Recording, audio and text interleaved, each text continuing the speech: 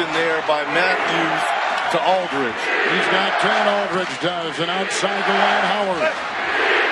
Inside to the cutting and no one was on him.